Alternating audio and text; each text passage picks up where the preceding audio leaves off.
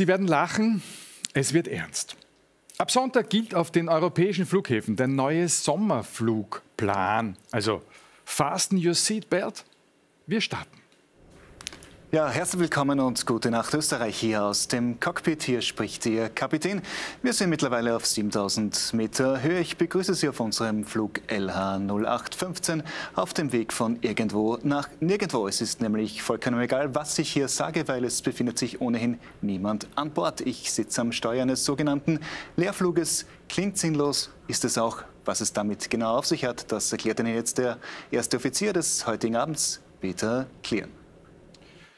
Ja, danke. Äh, wir beschäftigen uns jetzt also mit einem Thema, bei dem Sie so richtig in die Luft gehen werden. Denn ein Leerflug ist genau das, was unser Pilot gerade geschildert hat. Ein Flugzeug, das mit sehr wenigen oder manchmal sogar ganz ohne Passagiere abhebt. Und ein Leerflug ist keine Ausnahme. Haben Sie gewusst, dass alleine die Lufthansa heuer im Winter 18.000 Leerflüge gemacht hat? 18.000! Greenpeace hat das für alle Fluglinien hochgerechnet und kommt zu dem Ergebnis, dass es heuer im Winter rund 100.000 Flüge in Europa gegeben hat, in denen nicht mehr als ein paar Leute an Bord gewesen sind. Also bitte, atmen Sie einmal tief durch. Greifen Sie zu Ihrer Geldbörse, holen Sie das Klimaticket heraus und sagen Sie dann einmal ganz, ganz ruhig. Haben Sie dafür! Das ist unverschämt, was Sie hier machen! Unverschämt!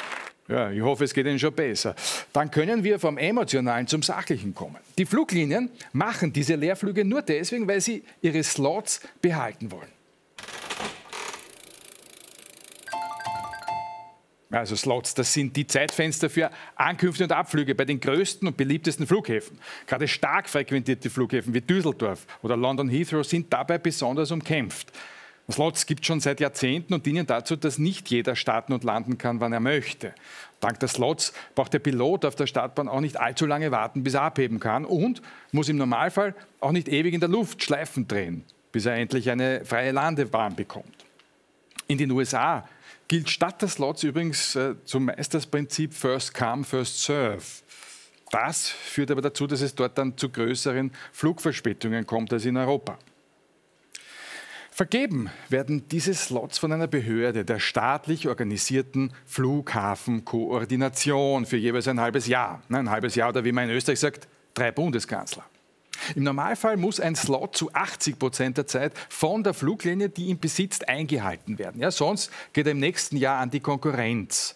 Das ist wie beim Fußball. Ne? Wenn Cristiano Ronaldo nicht mindestens 80 Prozent der Spiele tatsächlich spielen darf, wird der sich natürlich im nächsten Jahr einen anderen Verein suchen.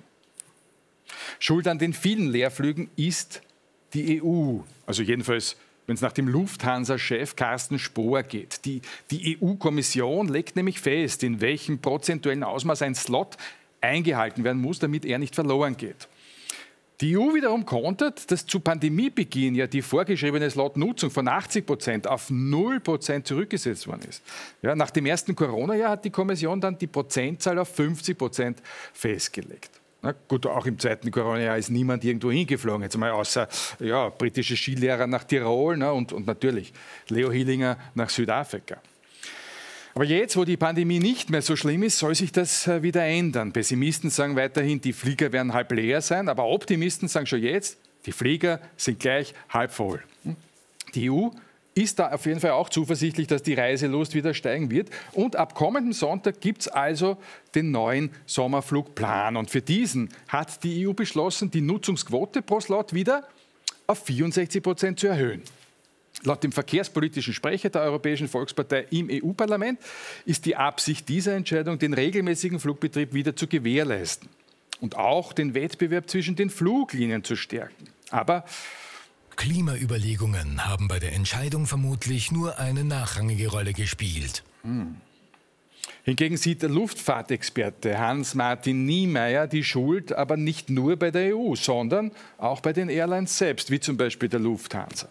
Sein Lösungsvorschlag wäre, dass Fluglinien untereinander mit Slots handeln. Wenn es einen geregelten, transparenten Markt gibt, kann eine Fluggesellschaft einen Slot, den sie gerade nicht braucht, abgeben. Sie braucht keine Angst zu haben, nicht auch wieder an einen gleichwertigen Slot heranzukommen. Klingt gut, ne? Gibt es noch andere Lösungsvorschläge? Na gut, also wenn man unsere Bundesregierung fragen würde, würden die dem, nach dem großen Erfolg der Impflotterie wahrscheinlich die Slot-Lotterie durchführen.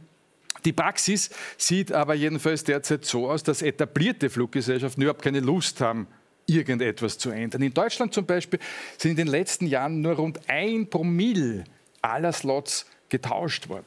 Ja, die Devise bleibt, bevor die Konkurrenz auch nur einen Flug von uns bekommt, geben wir die Schuld lieber der EU ne, und machen unsere Leerflüge. Das Thema dreht sich also im Kreis wie ein Flugzeug, das auf seine Landung wartet. Ja, hier spricht noch einmal Ihr Kapitän. Ich möchte mich bedanken, dass Sie mich auf meinem heutigen Lehrflug begleitet haben. Wir werden in Kürze landen und zwar am Boden der Realität. Ich möchte Sie darauf aufmerksam machen, dass es ein durchaus äh, harter Aufprall wird. Bleiben Sie dann so lange angeschnallt, bis wir unsere endgültigen Klimaziele erreicht haben. Das könnte durchaus etwas dauern. Was soll man da sagen? Fahren Sie auch regelmäßig mit dem Fahrrad, drehen die Heizung nur auf, wenn Sie die wirklich brauchen und überlegen sich beim nächsten Mal ein E-Auto zu kaufen? Ja, aber solange jeden Winter 100.000 leere Flugzeuge quer über Europa fliegen, fällt es halt auch nicht immer leicht, die Motivation aufrechtzuerhalten.